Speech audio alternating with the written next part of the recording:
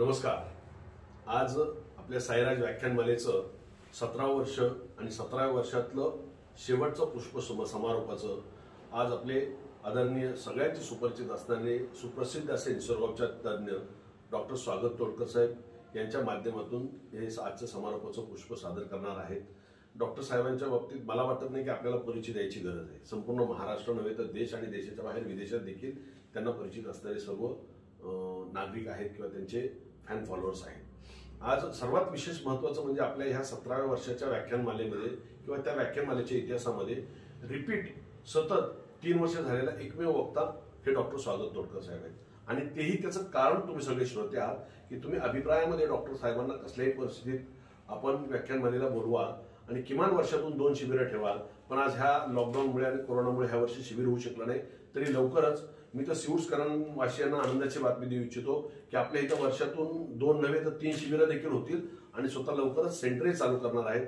याच व्याख्यानमालेनिमित्त डॉक्टर साहेबांचं मी पुष्पगुच्छ देऊन स्वागत करतो आणि त्यांना विनंती करतो की त्यांनी पुढचं पुष्प सादर करावं. धन्यवाद. जय जय महाराष्ट्र. पुन्हा डॉक्टर साहेब आपल्याला मार्गदर्शन करतील आणि व्याख्यानाला सुरुवात होईल. नमस्कार. साईराज प्रतिष्ठान संस्थापक आदरणीय भरत जाधव साहेब आपल्या चांगल्या परिचयाचे आहेत. आणि त्यांना नमस्कार करून नमस्कार एवढ्यासाठी की त्यांच्या ह्या सतरा वर्षाच्या इतिहासात व्याख्यानमाल्याच्या इतिहासात त्यांनी सलग तिसऱ्यांदा मला एक चान्स दिलेला आहे. आणि तेही समाजासाठी खूप धडपडत असतात खूप करत असतात. आणि माझीही तळमळ त्यांना माहिती आहे. आमच्या दोघांची तळमळ एकत्र आल्यानंतर खूप मोठं काम होऊ शकतं असं त्यांना वाटतं. आणि हे बरोबरच आहे. म्हणून आज मी आपल्याला आनंदी जीवन कसं जगायचं ह्याच्याबद्दल माहिती सांगेन. बघा की आपण पूर्वीच्या काळी कसं असायचं? पूर्वीचे सण आत्ताचे सण. पूर्वीचे सगळे पूर्वी सिनेमे सुद्धा कसे असायचे? आत्ताचे चित्रपट कसे आहेत? फार सगळं तफावत झालेला आहे बदल झालेला आहे पूर्वी बघायचं प्रेम कसं असायचं? प्रियकर प्रियसी आल्यानंतर कसं असायचं? लगेच फुलं आडवं यायची. झाड आडवं यायचं. झाडाच्या पाठीमागे जायचे. आज कॅमेरा झाडाच्या पाठीमागे चाललाय. आणि त्याच्यामुळं आपल्याला सगळं काय ज्ञात व्हायला लागले माहिती व्हायला लागले पण ही माहिती घेता घेता आपल्याला निसर्गाची माहिती घ्यायला काय हरकत आहे? कारण आयुष्य परत परत नाही हो. एकदाच जन्माला यायचा आहे एकदाच मरायचा आहे कोण दोन वेळा तीन वेळा जन्माला आलाय असा एक तरी कोण आहे का? किंवा एक दोन वेळा तीन वेळा मरून बघितले वरती जाऊन परत आलाय असा दोन वेळा तीन वेळा अपवाद कुठेतरी आपण म्हणू शकतो की एखादा मी याला म्हणून सांगितलं तो आणि जिवंत झाला. पण प्रत्येकाच्या नशिबी ही गोष्ट आहे का? आपण विचार करायला पाहिजे. आपण या गोष्टी पुन्हा पुन्हा आपण मिळवू शकत नाही. शरीराचा कोणताही भाग असू दे कोणताही पार्ट असू दे एकदा जर तो खराब झाला तर आपल्याला तो परत कधीही मिळू शकत नाही. आणि त्यासाठी कळकळीची विनंती आहे शरीर जपा. सगळ्यात महत्वाचं आहे ते आपली शरीर संपत्ती. महत्वाचं आहे ते शरीर. सगळ्या गोष्टी कमवाल पैसा कमवाल अडका कमवाल सगळं संपत्ती तुम्ही प्रॉपर्टी भरपूर कराल. पण शरीर शरीराची प्रॉपर्टी तुम्हाला मिळणार आहे का पण? ही एकदाच मिळते आणि ते जपणं फार गरजेचं आहे आपल्याला. कारण हे जेव- जेवढं तुम्ही नैसर्गिक जगाल तेवढं तुम्ही चांगलं आयुष्य काढाल. बघा की आज माझं वय त्रेपन्न आहे. तरी सुद्धा नैसर्गिक राहिल्यामुळं बऱ्याच गोष्टी आपल्या लहानपणीच्या आठवा. लहानपणी लहान मुलं बघा मी स्वतः सांगतो की लहानपणी मातीत खेळायचे. त्या मातीतून सुद्धा मुलांना एनर्जी मिळायची त्या मातीतून सुद्धा आरोग्य मिळत होतं. आजची माती जर बघायला गेली तर केमिकल युक्त झालेली आहे. शेतकरी शे- औषधावरती फवारणी करून करून ज्या काळ्या आईची ज्या शेतीची ज्या हिची आपण सेवा करत होतो आज ती सेवा करण्यासाठी आज आपण त्याच्यावरती केमिकलचा औषधांचा बडीमार करतो. त्यात जर आपलं मूल जरी खेळायला गेलं तरी त्याला त्याचे साईड इफेक्ट होतात. पूर्वीसारखे पक्षी प्राणी राहिलेत का आता?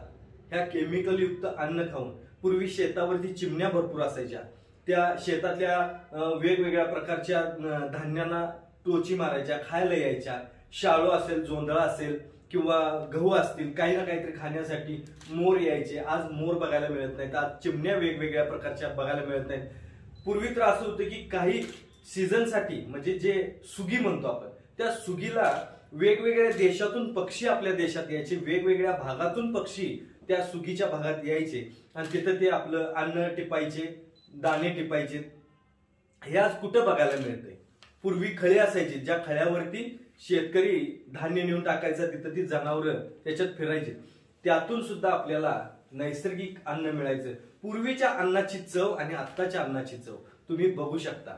आज जंक फूड फास्ट फूड आलंय. त्याच्यातून बघा फक्त माणूस वाढत चाललाय सुटत चाललाय बल्की होत चाललाय. हा बल्कनेस किंवा हा जो वाढलेला जो फार मोठा घेर झालेला आहे हा आपल्याला नंतर औषधं खायला लावतो. आणि हे औषधं खाण्यासाठी आपण वजन कमी करण्यासाठी खूप काही प्रयत्न करतो. तर विनंती आहे शक्यतो करून हे टाळा. ज्या पद्धतीनं बघा मला एक तरी देश असा दाखवा. एक तरी ह्या पृथ्वी तलावरती एक देश असा दाखवा की ज्या देशाला त्या देशातले लोक आईचा दर्जा देतात. आपण आपल्या देशाला आपल्या भारताला भारत माता म्हणतो आपल्या आईचा दर्जा देतो. आज व्यसन करणाऱ्या सर्व माझ्या बांधवांना कळकळीची विनंती अक्षरशः डोळ्यात पाणी येतं माझ्या खरं सांगायचं तर. जेव्हा ते मावा गुटखा तंबाखू खातात आणि ह्याच धरती मातेवरती पिचकाऱ्या मारत असतात. फार वाईट वाटतं मला. विनंती आहे. अहो ह्याच्यातून माझ्याकडे जर बघायला गेलात एक दिवस माझ्या तुम्ही केंद्रात येऊन बसा. तुम्हाला खरंच लक्षात येईल की तंबाखू खाल्ल्यानंतर गुटखा खाल्ल्यानंतर मावा खाल्ल्यानंतर बघा जिभेची नैसर्गिक चव तर निघून जातेच जाते. पण कॅन्सर पण होते कितीतरी लोक आहेत. नंतर पश्चाताप करून काही फायदा नाही काही उपयोग नाही. म्हणून त्यासाठी कळकळीची विनंती आहे. खूप काळजी घ्या. हे शरीर परत परत नाही. त्यांचे दात किडलेले असतात दातांचं संशेषण निघून गेलं असते हिरड्यांचं संशेषण निघून गेलं असते दात कमजोर कमकोत झालेले असतात. त्यांना तिखट खाता येते का तेवढं विचार. त्यांच्या तोंडामध्ये चट्टे असतात पळके गेलेले असतात. तर तंबाखू खाणाऱ्या लोकांचे दात बघा काळे झालेले असतात. हे कुठंतरी आपल्याला कॅन्सर करू शकतात कॅन्सर होऊ शकतो. त्याच्यातून पोटात अहो तोंडात ही अवस्था आहे. आज पोटात काय होत असेल? ते अन्ननलिका काय म्हणत असेल? आज तुमचं लिव्हर काय म्हणत असेल? ह्याचा विचार करा. खूप व्यसनाचं कसं आहे वाईट गोष्टी वाईट गोष्ट अशी आहे ना एकदा केली की ती पुन्हा करावीशी वाटते. पण चांगली गोष्ट एकदा करून बघा. म्हणजे लक्षात येईल त्याचं सुख वेगळंच आहे. ते तुम्ही पैशात नाही मोजू शकत. कारण हे सुख तुम्हाला खरोखर एक विनंती आहे. खरंच कळकळीची विनंती आहे. तुम्ही ही गोष्ट करून बघा. आज मी मला वाटते लॉकडाऊन नंतर फर्स्ट टाइम पहिल्यांदा मी हे व्याख्यान देतोय. आणि जाधव साहेबांना खरंच थँक्स म्हणतो. जाधव साहेबांच्यामुळे हे खरंच शक्य झालं. जर भरत जाधव साहेब नसते तर एक अशी गोष्ट होती की मी यूट्यूबवरती व्हिडिओ टाकणं किंवा व्याख्यानं देणं बंद करायचा निर्णय घेतला होता. जाधव साहेबांनी मला पुन्हा ते करायला लावलेलं आहे. तर जाधव साहेब पुन्हा मला तुम्ही हे व्याख्यान देण्यासाठी प्रवृत्त केलात. त्याच्याबद्दल आपलं मनपूर्वक आभार व्यक्त करतो मी खरं तर. कारण कसं आहे काही गोष्टी घडतात ज्या गोष्टींमुळं नको वाटतं. आणि तेव्हा मग असा कोणतरी एक अवलिया येतो मुंबईवरून कोल्हापूरला. काही काही संबंध नाही. त्यांचा आणि माझा काही संबंध नाही. ते आले. डॉक्टर साहेब हल्ली तुमचे व्हिडिओ कुठं यूट्यूबला दिसत नाहीत. किंवा कोणत्याही प्रकारचं काय व्याख्यानमालेचं काय तुमचं काय ऑनलाईन वगैरे तुम्ही केलं नाही का? तर तेव्हा मी त्यांना बोललो. तेव्हा म्हणाले की तुमच्या वाईटावरती किती लोक आहेत? चार लोक आहेत. आणि चांगल्यासाठी तुमच्या ब- सोबत असणारे लोक किती आहेत तर लाखो करोडो लोक आहेत. मग चार लोकांच्यासाठी तुम्ही लाखो करोडो लोकांना तुम्ही मार्गदर्शन करणं बंद करणार आहे का? तुमच्या ज्ञानाचा उपयोग तुम्ही लोकांसाठी व्हावा असं म्हणत असताल तर हे तुम्ही चालू करा. आणि पुन्हा मी पेटून उठलो आणि पुन्हा मी जाधव साहेबांच्या ह्या बोलण्यानं मी प्रेरित झालो आणि त्यांनी सुरुवात करून दिली की जाधव साहेब म्हणाले पहिलं व्याख्यान तुम्ही माझ्या व्याख्यानमालेत द्यायचं. मी ते स्वीकारलं. साहेब थँक्यू त्याच्यासाठी धन्यवाद. आणि खरंच मी आपल्यालाही सांगू इच्छितो की जीवनात हार मानणं म्हणजे खरंच मृत्यू पत्करणं फार बरं. कारण तुम्हाला सांगतो हे व्यसन असो किंवा अन्य काही गोष्टी असो हे आपल्याला एवढं एवढं एवढं त्रासदायक आहे. क्षणिक गोष्टीसाठी मजा वाटते. बरेच लोक मला म्हणतात अहो त्याची किक वेगळीच येते. अहो पण त्यानं किक बसते तुम्हाला तुमच्या कशावर? त्याचा विचार करा. तुम्हाला कॅन्सर झाल्यानंतर मग फार अवघड होऊन बसतंय. तेव्हा मात्र तुमचा ती किकचा परिणाम तुम्हाला तेव्हा जाणवा लागतोय. म्हणून विनंती आहे व्यसन सोडा साफसफाई स्वच्छता. जाधव साहेब स्वतः नेहमी बघतात. मी त्यांना नेहमी ओळखतो. मला ते व्हॉट्सअपवरती नेहमी त्यांचे मेसेज असतात. ज्या मेसेजमध्ये ते साफसफाई करताना कुठं काय काय करताना बरंच दिसतंय. मी त्यांचा भक्त आहे मला हरकत नाही. मला कोणतंही पक्ष माहीत नाही. किंवा मी पॉलिटिक्स म्हणून त्यांच्याकडे बघत नाही. मी एक चांगला माणूस म्हणून त्यांच्याकडे बघतो. ते माझ्याकडे एकदा आले होते माग. तर तेव्हा आम्ही सहज फिरायला म्हणून गगनबावड्यासारख्या ठिकाणी घाटात गेलो. तर तिथं हा माणूस निसर्ग सौंदर्य बघायला पाहिजे होता की नाही या माणसानं काय केलं असेल? तिथल्या बॉटल्स दारूच्या उचलायला चालू केल्या. मग अशा माणसाची भक्ती करणं किंवा अशा माणसाचं भक्त होणं बरोबर आहे ना? बघा. थँक्यू त्याच्यासाठी. तर अशा गोष्टी आपण करायला पाहिजे ते बघा आम्ही पण ग्रा त्यांचं बघून आम्ही माझ्या वर्धापन दिनानिमित्त माझ्या केंद्राच्या वर्धापन दिनानिमित्त आठव्या वर्धापन दिनानिमित्त आम्ही ग्राम स्वच्छतेचं गगनबावड्याच्या इथं काम हे केलं काम हाती घेतलं. ज्या कामामध्ये दारूच्या बोटल इतक्या सापडल्या की माझ्या त्या ऐंशी लोकांचा खर्च जेवणाचा त्या दारूच्या बोटलमधून निघेल. इतक्या बोटल म्हणजे काय कुठं चाललंय? हल्ली तरुण सोडा. तरुणी सुद्धा आज व्यसनाधीन व्हायला लागलेत व्यसनाच्या पाठीमागे लागलेत. आणि क्षणिक गोष्टींचा विचार करतात. आज मोबाईल असो काय असो वापरा पण योग्य गोष्टींसाठी. योग्य गोष्टींसाठी आपण सगळ्या गोष्टी टाळू शकत नाही. मला फार वाईट वाटतं. माझ्या मुलीसारख्या मुली कितीतरी मी बघतो असं वाटतं की माझी मुलगी यात आहे का? प्रत्येक वडिलाला ही भीती वाटते की माझी मुलगी यात आहे का? आई वडील काय करतात? काटकसर करतात किंवा शिक्षणासाठी हॉस्टेलला पाठवतात. पण हॉस्टेलवरती मुली सुद्धा आजकाल हॉस्टेलमधून बाहेर जाऊन इकडे तिकडे जाऊन व्यसन करायला लागलेले आहेत. दारू प्यायला लागलेले आहेत. गोव्यासारख्या ठिकाणी जर बघायला गेलं तर दयनीय परिस्थिती आहे. आणि मुंबई पुण्यामध्ये सुद्धा आता हळूहळू ते परिस्थिती यायला लागले. असं म्हणायला हरकत नाही. तर कळकळीची विनंती आहे व्यसनापासून लांब राहावा. मी पाया पडतो आपल्या. अक्षरशः.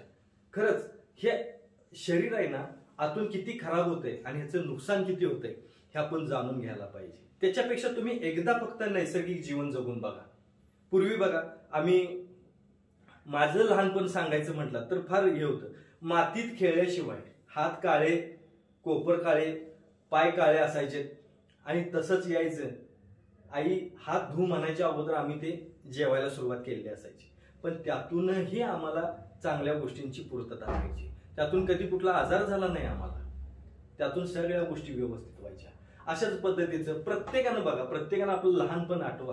आता ल- पूर्वीचे सण आत्ताचे सण पूर्वीसारखे सण राहिलेत का? दिवाळी येऊन गेलेली कळत नाही आज आपल्याला. कुठं चाललोय आपण? मुंबई पुण्यासारख्या ठिकाणी तरी दिवाळी पूर्वी फटाके आम्ही फटाके उडल्यानंतर दिवाळीच्या त्याचं ते छोटे छोटे फटाके जमा करायचे त्यातली ती आतली पावडर काढायची. आणि ते एका कागदावरती ठेवून त्याच्यात वात लावून ते पेटवण्याचा प्रयत्न करायचो. पूर्वी पूर्वी फटाके कमी मिळायच्या. आता फटाके मिळतात पण कसं आहे? आकाशातले मिळायला लागलेले आहेत. जमिनीवरचे फटाके आता कमीच व्हायला लागले पण ह्याच्यातून किती पोल्युशन किती वाढतंय ह्याचाही विचार करा. पिढी बदलत चालली. पूर्वी नमस्कार करताना पाय असे अगदी पाय पायापर्यंत हात नेऊन नमस्कार करायचे पूर्वीची लोक. नंतर नंतर ते आलं गुडघ्यापर्यंत हात जायला लागला. नमस्कार. गुडघ्यापर्यंत आता तर कसं आहे तुम्हाला सांगतो फक्त छाती वाटून नमस्कार एवढंच असतंय. ह्याच्या पलीकडचं संपलं सगळं. आणि थोडे दिवसानंतर काय कसा नमस्कार घालणार आहेत घालणार आहेत की नाहीत हे पण माहीत नाही.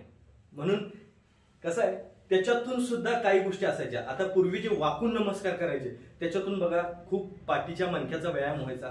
वाकलं जायचं बसलं जायचं. पूर्वी जेवण करताना खाली मांडी घालून बसून जेवायचे. आता नंतर नंतरचा जो काळ आला तो खुर्चीवर बसून जेवायचा आला. आणि आताचा जो काळ आलाय तो उभा राहून जेवायचा काळ आलेला आहे. आणि तो पुढची पिढी काय कुठं आता टेरेसवर जाऊन जेवते की काय काय माहीत नाही. कसं जेवते? तर जेवण्याची कला आपल्याला माहिती असेल पाहिजे. ही कला आहे खरं तर. पूर्वीचे लोक खरंच खूप हुशार होते. मांडी घालून बसल्यानंतर बघा पूर्वीच्या किती लोकांना गुडघेदुखीचा त्रास असायचा? खूप कमी असायचा. पूर्वी कॅल्शियम खाल्ल्यानंतर पोटात ते व्यवस्थित राहायचं. त्याच्यानंतर त्याची विघटन त्याचं व्यवस्थित व्हायचं.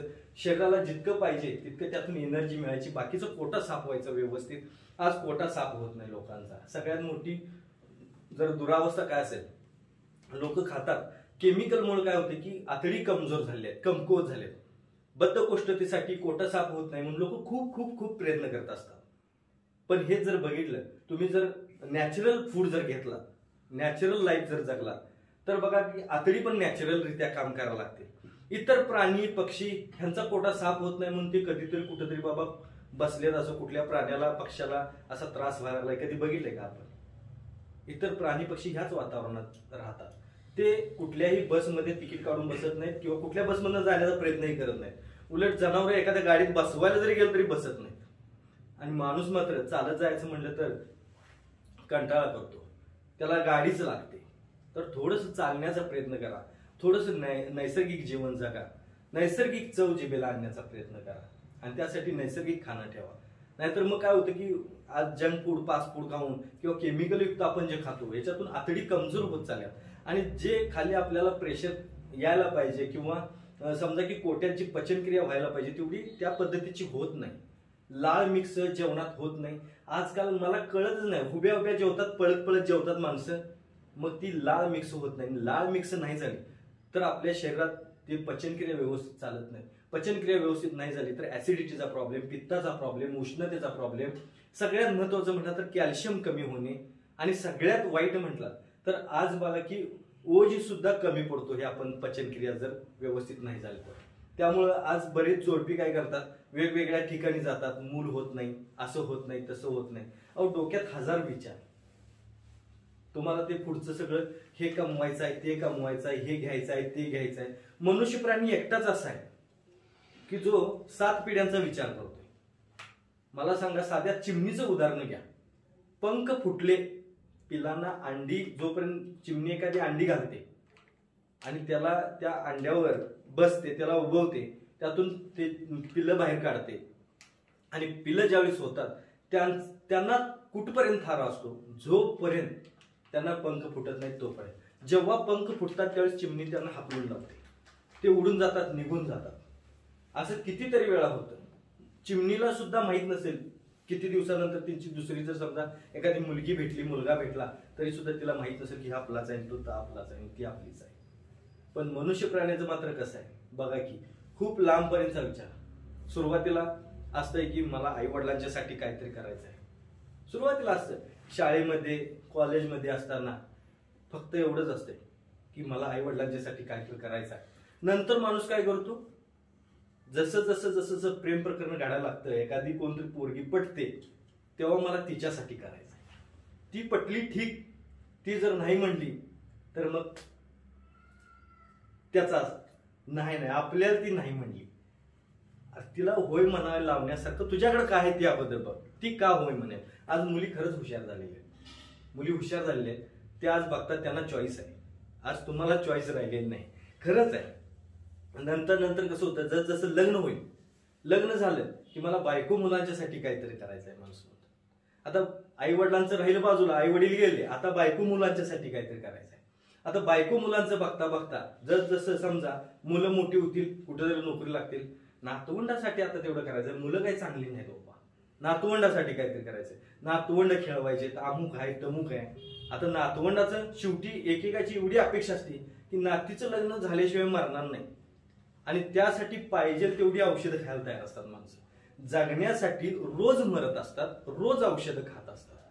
माझी कळकळीची विनंती आहे एक तरी माणूस दाखवा मला की औषध खाऊन सव्वाशे वर्ष जगलाय शंभर वर्ष जगलाय. आणि न औषध खाता पूर्वीची लोक शंभर सव्वाशे वर्ष जगलेली मी तुम्हाला सांगू शकतो तुम्हालाही माहिती असते. मग पूर्वीचं आयुष्य पूर्वीचं जीवन आणि आत्ताचं जीवन याच्यातला फरक तुम्ही जाणून घ्या. पूर्वी औषध पाणी कमी असायचं औषध फवारणी शेतीवरती कमी असायची. पूर्वी नैसर्गिक जीवन जगायचे. पूर्वी लोक काळजी घ्यायची. पूर्वी लोक चालायची खूप. पूर्वी शारीरिक कष्ट खूप होतं. आता शारीरिक कष्ट कमी झालं व्यायामाचा अभाव जसा झाला. तसं बघा माणसाचा हळूहळू हळूहळू हातपाय ओट्यात आलं म्हणायला हरकत नाही. हळूहळू गुडघेदुखीचा त्रास वाढत गेला पोटं वाढत गेली. मग त्याच्यातून संधिवात अमुक तमुक खूप खूप खूप खूप काही आजार वाढत गेले. मनुष्य प्राण्यालाच हजारो प्रकारचे आजार आहेत. इतर प्राण्यांना पक्ष्यांना कदाचित असतील पण त्यांना ते माहितीच नाही. किंवा त्यांना नसता नसतातही. किती लोकांचं किती पक्ष्यांचं तुम्ही डोकं दुखले म्हणून असा कावळा बसलाय कधी बघितले मरताना सुद्धा ते नॅचरल डेट मारतात नॅचरल मारतात कुठेही मरून पडलेले असतात कुठेही झालेले असतात कावळे असतात बाकीचे पक्षी असतात नॅचरल मृत्यू असतो त्यांना. मनुष्य प्राण्याला मात्र डायरेक्ट मारावंच लागतंय म्हणा शेवटी आता. अशी परिस्थिती होऊन बसते काय करायचं? किती करायचं? मग नंतर नंतर जसं जसं तुम्ही इच्छा वाढवत न्याल तस तसं.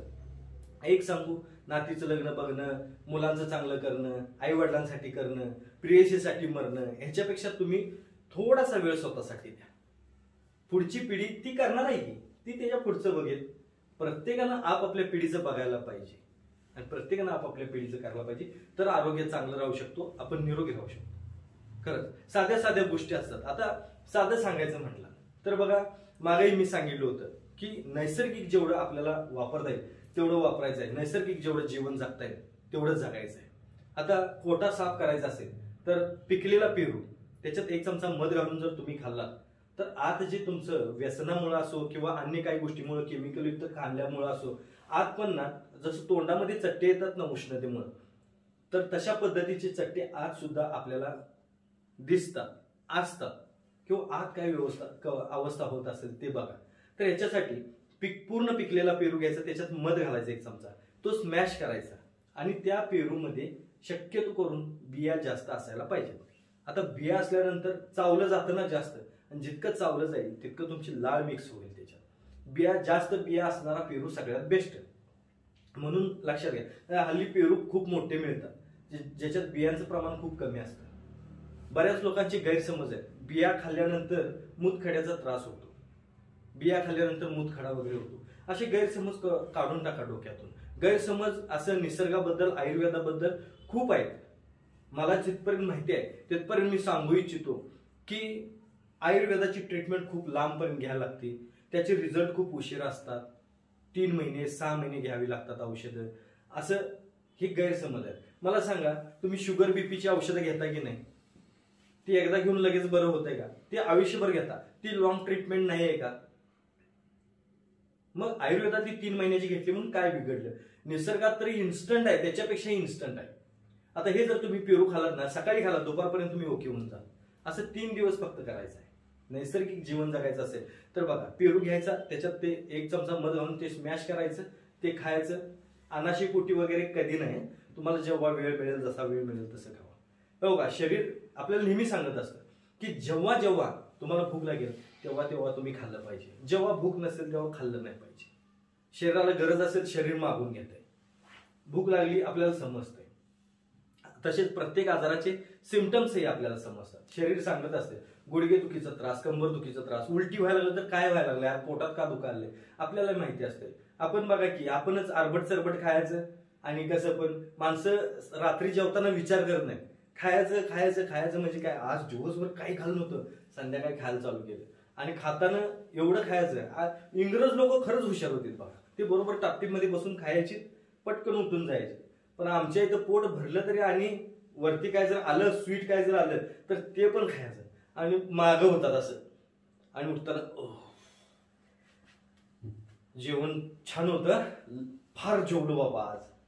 आणि त्याचा परिणाम मग तुम्हाला रात्रभर. रात्रभर भोगायला लागतो. रात्रभर नुसतं ओह. अहो, कमी जेवा. रात्रीचं कमी जेवा. ह्याच्यातून तुमचं तुमच्या शरीराचं नुकसान आहे मोह आवरा. जेवणातला मोह आवरा. माणसं काय करतात? कुठल्या तर कार्यक्रमाला गेलं जास्त खायचं. नंतर आईस्क्रीम असलं की आईस्क्रीम आणि वर खायचं. उदर भरून नव्हे जाणीची यज्ञ करणं. आपण यज्ञ कर्म करतोय जेवतो म्हणजे यज्ञ कर्म करतो. आणि त्याच्यावरती त्या पेटलेल्या यज्ञावरती शरीराला ऊर्जा मिळण्यासाठी आपण जे यज्ञ म्हणून जे अन्न घेतो तर त्याच्यात खरोखर सांगू आध्यात्मिकरित्या तुम्ही चांगल्या मनाने चांगल्या विचाराने प्रसन्न मनाने तुम्ही जेवायला बसला पाहिजे प्रसन्न मनाने चावून चावून चावून एक घास बत्तीस वेळा खाल्ला पाहिजे चावला पाहिजे असं म्हणतात. तर त्या पद्धतीने तुम्ही चावला पाहिजे. लोक सांगतात बत्तीस दात दिलेले आहेत. ते उगीच दिले नाहीत बत्तीस वेळा चावण्यासाठी. म्हणजे प्रत्येक दाताच्या इथं जी लाळ ग्रंथी असतात आतल्या बाजूला तर त्या लाळ ग्रंथीतून लाळ येऊन येऊन येऊन ती लाळ मिक्स होऊन तोंडामध्येच त्याचा अगदी लगदा तयार व्हायला पाहिजे आणि तो इझीमध्ये आत गेला पाहिजे. तर तो इझीमध्ये बाहेर पण जाऊ शकतो नाहीतर इझी मध्ये आत नाही गेला तर इझी मध्ये बाहेर जात नाही. तुम्ही गडबडीत खाल्ला तर तुम्हाला गडबडीचं होत नाही मग मग सगळं गडबडायला लागत्या ह्या गोष्टी होतात. म्हणून विनंती आहे विचार करा तुम्ही की साध्या साध्या गोष्टीतून आपलं आरोग्य आपण चांगलं ठेवू शकतो. अशाच पद्धतीनं म्हणत असाल तर केसांसाठी मला खूप लोक विचारतात. केसांसाठी. तुम्ही काय करता? तुमचे केस अजून कसे काय आहेत? म्हणजे सगळ्यांचे केस जायलाच पाहिजे तर असं कुठं काय आहे? असतात ना माझ्यापेक्षा वयस्कर लोकांचे सुद्धा केस असतात. याच्यासाठी बघा ला माता भगिनींना अगदी त्यांचं वाटलं मी पाय धरतो पाया पडतो त्यांच्या अक्षरशः. लहान मुलाला तेल लावणं बंद आहे आता सध्या तरी. त्याचे केस असे असतात ना की एखाद्या माळावरती सुकलेलं गवत असते ना त्याच्यापेक्षा पण बेकार अवस्था त्याच्या केसांची असते. लहानपणीच त्याला तेल लावायचं नाही ते आधीच तांबडे झालेले असतात. आणि ते पांढरे व्हायला मग वेळ लागत नाहीत आणि दुसरी गोष्ट जे वाऱ्यानं उडून उडून उडून जे जाते निघून त्यांचं तर तेही बघा. तर तेल लावा. त्या मुलाच्या डोक्याला त्याच्या मेंदूला पूर्वी तेल लावायचेत ना तर त्याच्या मेंदूला शांतता मिळते त्याच्यातून थंडावा मिळतो. खोबरं म्हटलं ना तर बघा की आपण नारळाच्या झाडाला कल्पवृक्ष म्हणतो नारळाच्या झाडाला. तर नारळाचं झाड त्याचा तो नारळ आणि त्या नारळाचं खोबरं आणि त्या खोबऱ्यापासून तयार केलेलं तेल म्हणजे किती त्याला प्रोसेस आहे बघा. आणि त्या खोबरेल तेलाचा जर उपयोग आपण आपल्या डोक्यावरती केसांच्या मुळांना जर केला तर हे केस खूप छान राहतात. आम्ही असे तेलाचे उघड असे पुसत पुसत आम्ही शाळेला जात होतो. एवढं आमची आजी तेल लावायची आम्हाला. आणि त्यावेळेस डायरेक्ट खोबरं घ्यायचं त्यांचा तो घाणा असायचा घाण्यावर जाऊन ते तेल काढायचं आणि ते घेऊन यायचं. त्याचा वास खूप कुबट कुबट यायचा. तरी ते आमची आजी आम्हाला लावायची. हल्ली अत्तरचा वास लोकांना आवडतोय. तो वास अजिबात आवडणार नाही. पण त्यानं मात्र आरोग्य टिकतं हेही लक्षात घ्या खोबऱ्यातून. खोबऱ्याचं दूध जर काढून तुम्ही पिलात तर बघा कुणाचाही कोटा साफ होत नसेल तर खोबऱ्याचं दूध घ्यायचं त्याच्यात थोडीशी खडी साखर घालायची. आणि बारीक करून घाला खडी साखर. आणि खोबऱ्याच्या दुधामध्ये ते घालून तुम्ही मस्तपैकी घालून हे जर रोज रात्री जर पिलात जेवायचं नाही तर. संध्याकाळी सात नंतर जेवायचं नाही.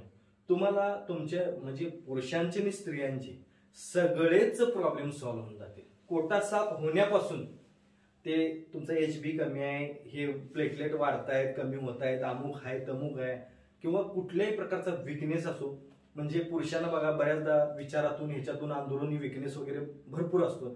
तर हा सगळा विकनेस सगळा निघून जाऊ शकतो याच्यातून. तुम्ही करून बघा आणि मग सांगा. ॲज अ चॅलेंज ह्याचा रिझल्ट तुम्हाला येणारच.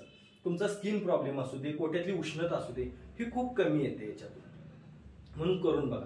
तसंच नारळाचं तेल तुम्ही जर नारळाचं तेल ओरिजिनल ते रिफाईंड जेवढं होत जाईल तेवढं त्यातली सत्व त्यातले जे काही गुण आहेत ते संपत जातात. तुम्ही साधं तेल घ्यायचं. मी प्रत्येकाला नेहमी सांगतो की साधं तेल घ्या आणि त्या तेलाचा वापर तुम्ही करा.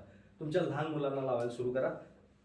त्यांना केस गळतीचा किंवा त्यांना नंतर केस पांढरे होणे किंवा टक्कल पडणे ह्याचा कधी सामना करावा लागणार नाही. छान केस राहतील. मुलं फॅशनच्या नावाखाली करतात की तेलच लावत नाही. ठीक आहे फॅशन करा तुम्ही पण दिवसा करा. रात्री तेल लावू शकता. तुम्ही आठवड्यातून दोन किंवा तीन वेळा तेल लावा. बघा केस छान राहतील. नंतर स्टाईल करायला केस पाहिजेत का नको? हल्लीच्या स्टाईल आणि वेगळ्या आल्या. तर त्या स्टाईल सगळ्या करण्यासाठी आपले केस चांगले असायला पाहिजेत. तर आपण करू शकतो. त्याच्यानंतर बघा डोकेदुखीचा त्रास आहे. खरं सांगायचं तर मोबाईलवरती आपण जेवढे जास्त थांबू कॉम्प्युटरवरती जेवढे जास्त थांबू तेवढं डोळ्याला थकवा जास्त येतो. आणि त्याच्यामुळे डोकेदुखीचा त्रास होतो. त्याच्यामुळे ऍसिडिटीचा त्रास होतो. एकसारखं विजन आपलं राहतं ना त्याच्यामुळे आपल्याला जास्त करून मोबाईल कॉम्प्युटर असेल टी व्ही असेल हल्लीच्या म्हाताऱ्या बायका सुद्धा टीव्हीवरती बघत असतात जास्त. तर ह्यांना विनंती आहे थोडंसं कमी करा. त्याच्यामुळे सुद्धा डोकेदुखी होऊ शकते. त्याच्यामुळे ऍसिडिटी वाढू शकते पित्त वाढू शकतं. जी माणसं धावपळ करत असतात ह्यांना खरंच सांगतो विनंती आहे धावपळ करून करून करून करून शेवटी धावपळीतच मरण्यापेक्षा तुम्ही थोडंसं स्वतःचा विचार करा स्वतःसाठी थोडंसं जगा. म्हणजे नंतर नंतर कसं असते पहिलं असतं की मला करिअर करायचं आणि नंतर मग ते करिअर जेव्हा होतंय तेव्हा मुलांसाठी करायचं आणि मुलांसाठी करता करता मरून जायचं. हे नको. थोडंसं स्वतःसाठी. कारण तीच मुलं आपल्याला नंतर आपलं जर तब्येत व्यवस्थित नसेल आपलं जर समजा शरीर जर थकलं असेल तर तीच मुलं आपल्याला जो ज्यांच्यासाठी तुम्ही एवढं केलं तीच मुलं कंटाळतात आपल्याला. त्यांचा दोष नाही. त्यांनी त्यांचं आयुष्य कधी बघणार? का तुमचंच आजारपणाचं करत बसायला पाहिजे? हे विचार करा तुम्ही. म्हणून मुलांच्या साठी जर काय करायचं असेल तर तुमचं शरीर चांगलं ठेवा. जेणेकरून तुम्ही स्वतःची कामं स्वतः करू शकाल. मुलांच्यावरती त्या बाबतीत भर टाकू नका. त्या बाबतीत खरंच मुलं कंटाळतात. सगळेच कंटाळतात. तुम्ही आम्ही सुद्धा कंटाळलो. एखाद्या माणसाची सेवा चार दिवस आठ दिवस दहा दिवस करू शकतो त्याच्या पुढे करायला होत नाही. म्हणून विनंती आहे. खरंच विनंती आहे. कळकळीची विनंती आहे. तुम्ही स्वतःचं शरीर चांगलं ठेवा. शेवटपर्यंत असं शरीर राहिलं पाहिजे की शेवटच्या क्षणाला सुद्धा बघा अचानक मेलेल्या माणसाचं किती वाईट वाटते आणि आजारानं मेलेल्याचं कसं आहे? माणसं काय म्हणतात? बरं झालं. नाहीतर काय त्याचं पण हाल होतं घरच्यांचं पण हाल होतं हे आजारी माणसाच्या बद्दल असंच होतंय. पण अचानक मला काय सांगतो? अहो मगाशी तर गेलं की माझ्याजवळून. असं झालं की तसं झालं. खरंच परमेश्वरानं मृत्यू द्यावा तर असा द्यावा. नैसर्गिक मृत्यू. भले तो अटॅकनं आला म्हणा कशानं आला म्हणा किंवा अन्य कशानं आला.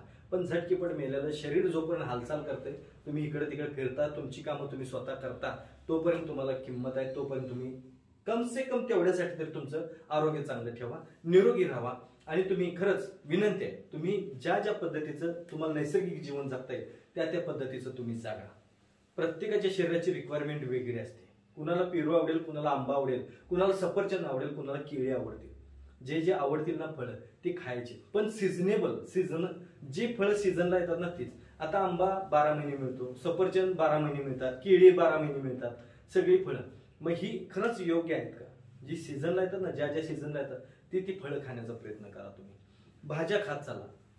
ज्याच्यातून आपल्याला खूप चांगला इफेक्ट देतो खूप चांगलं चांगल्या गोष्टी मिळतात. औषध फवारणी करण्यापेक्षा तुमच्याकडे थोडी जरी जागा असेल तर तेवढ्यात तुम्ही तुमचं स्वतःच शेत करू शकता. एक माणसाला दोन माणसाला किती लागतंय? स्वतः नॅचरल करायला बघा नॅचरल घ्यायला बघा आणि तुमचं शरीर नॅचरल ठेवायला बघा. अशा खूप गोष्टी आहेत ज्या आपण आपल्या छोट्या छोट्या गोष्टीतून जे म्हणतात ना थेंबे थेंबे तळी साचे. तर थेंबे थेंबे तुम्ही तुमचं आरोग्य चांगलं ठेवा. प्रत्येक गोष्टीत विचार करा. थोडं तरी चाला थोडं तरी हे करा. आणि जेवढं तुम्हाला करता येईल तेवढे घरगुती उपचार करा. युट्यूबवरती भरपूर घरगुती उपचार आहेत. तुम्हाला युट्यूबवरती जेवढे पाहिजे त्याच्यापेक्षाही जास्त तुम्हाला घरच्या घरी मिळतील इलाज. ज्याच्यातून आपण प्रत्येक पानाचा फळाचा फुलाचा मसाल्याच्या पदार्थांचा सगळ्यांचा उपयोग आहे. मी आधीही प्रत्येकाला सांगत होतो की तुम्ही श्वसनाचे त्रास घालवण्यासाठी सर्दी खोकला याच्यापासून दूर राहण्यासाठी ताप याच्यापासून दूर राहण्यासाठी तोंडामध्ये पाणी धरून आंघोळ करत चला. किती लोक करतात? आता आपल्याला किती उपयोगी पडलं असतं? हा विचार करा. कारण मी करतो आजपर्यंत मला कुठल्याही प्रकारचा काही आजार नाही. मी सगळीकडे फिरतो. सगळीकडे. ह्या लॉकडाऊनच्या काळामध्ये सुद्धा मी सगळीकडे फिरलो. पण मी करतोय मला काही प्रॉब्लेम नाही. आपल्यालाही येऊ नये अशी माझी खूप इच्छा आहे. म्हणून जे जे सांगतोय बघा चांगलं सांगायला लागलं ना की माणसं ऐकायला थोडं कंटाळा करतात. किंवा करायला कंटाळा करतात. ऐकताना छान वाटतं. एक एक जण युट्यूबवरती दिवस रात्र नुसतं काढून बसलेले असतात. माझी विनंती आहे त्यातलं वीस टक्के तरी करा. तुम्ही शंभर टक्के चांगले राहा. मी सांगतोय हे बघा माझी अशी अपेक्षा नाही की लाखो करोडो ह्यातनं मिळवायचे काय तुम्हाला फुकट इलाज सांगून मला काय त्याचं काय बेनिफिट असेल? काय पैसा मिळणार आहे मला? मला इतकंच करायचं आहे की हे बघा माझ्या माझ्याकडे माझे बाकीचे व्यवसाय भरपूर आहेत ज्याच्यातून माझं पोट चालतंय. पण ही जी माहिती आहे मी मिळलो की ही माहिती संपणार हे मला माहिती आहे. त्याच्या अगोदर ही माहिती सगळ्यांच्या पर्यंत पोहोचवायची एवढीच इच्छा आहे मला. कारण मी आता परवा पण गेलो होतो जंगलामध्ये. जवळपास मला वाटतं एक पंधरा दिवस तरी होतो मी जंगलामध्ये. तर तेव्हा शरीरासाठी फुल एनर्जी आणणार आणि फुल बॉडी एकदम स्ट्रॉंग करणार मसल स्ट्रॉंग करणार एक वनस्पती आहे. ज्याची पानं आणि मुळ्या खाल्ल्यानंतर खूप बॉडी स्ट्रॉंग होते. अशा नवनवीन वस्तूंवरती नवनवीन आपण वनस्पतींवरती ह्या आपण आपल्या ह्या डॉक्टरांच्या टीमच्या मार्फत किंवा माझी जी टीम आहे साधारण एक आता खूप मोठी टीम झाली. जवळपास साडेतीनशे लोकांची माझी टीम आहे.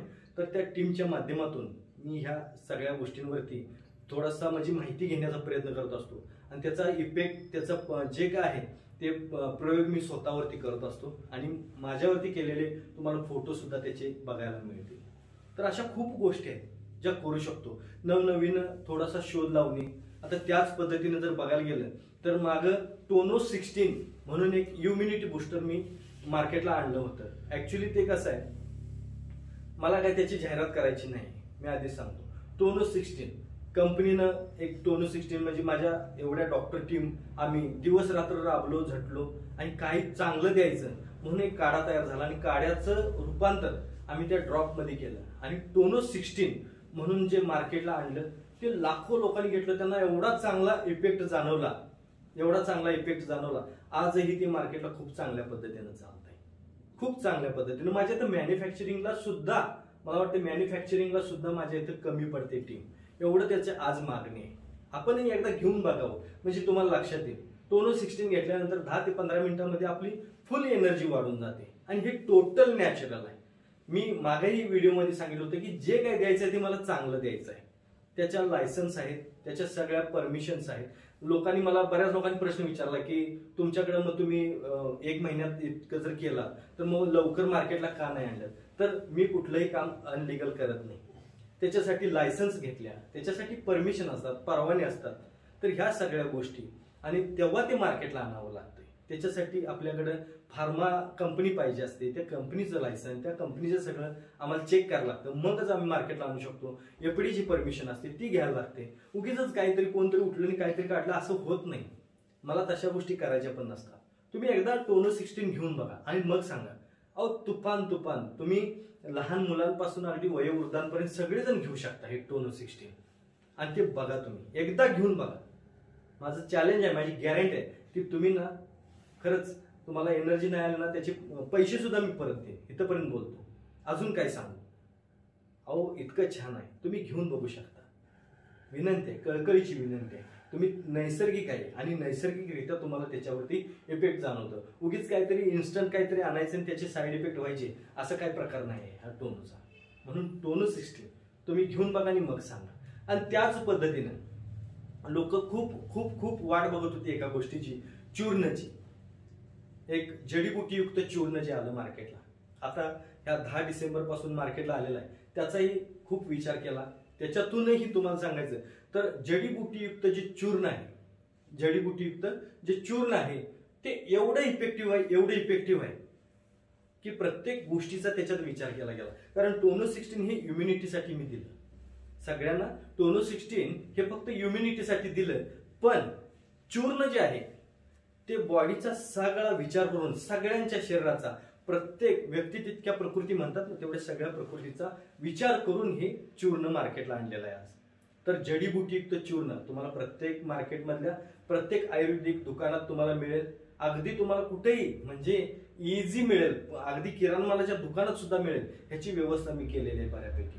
ह्याला टोटली सगळ्या परमिशन्स घेतलेल्या आहेत. टोटल लायसन आहे. माझ्याकडं त्याही तुम्हाला दाखवण्याची मला फार इच्छा आहे. की त्याच्या लायसन्स आहेत माझ्याकडे जडीबुटीयुक्त चूर्णची. त्याचं टोटल रिसर्च आहे. त्या रिसर्चचा जे काय डाटा आहे तो माझ्याकडे बऱ्यापैकी आहे. ज्यांना कुणाला जर तो युट्यूबवरती पण येणार आहे पुढे. तो रिसर्चचा डाटा जो आहे तोही पुढे येणार आहे. तो रिसर्चचा डाटा त्याच्यात म्हणजे दुर्मिळ अशा वनस्पतींचा उपयोग करून जे सहज मिळणं शक्य नाही. अशा दुर्मिळ वनस्पतींचा नैसर्गिक उपयोग करून नैसर्गिकरित्या तयार केलेलं हे चूर्ण आहे जे व्यसनामुळं आतून शरीर वगैरे खराब होतं आणि ज्याच्यामुळं आपली ताकद संपते किंवा व्यसनामुळं बऱ्याच लोकांना सोडायचं असते आता तंबाखू असेल गुटखा असेल मावा असेल बऱ्यापैकी सोडायचं असते किंवा बऱ्याच लोकांना खायचं असते पण त्याचा साईड इफेक्ट नको असतंय. मग ताकद राहत नसते जिभेवरची चव वगैरे निघून जाणं. अशा गोष्टी व्यसनाधीन लोकांना होतात. लिव्हरला प्रॉब्लेम वगैरे येणं अशा गोष्टी बऱ्याच लोकांना होतात. पण त्या सगळ्यांना विनंती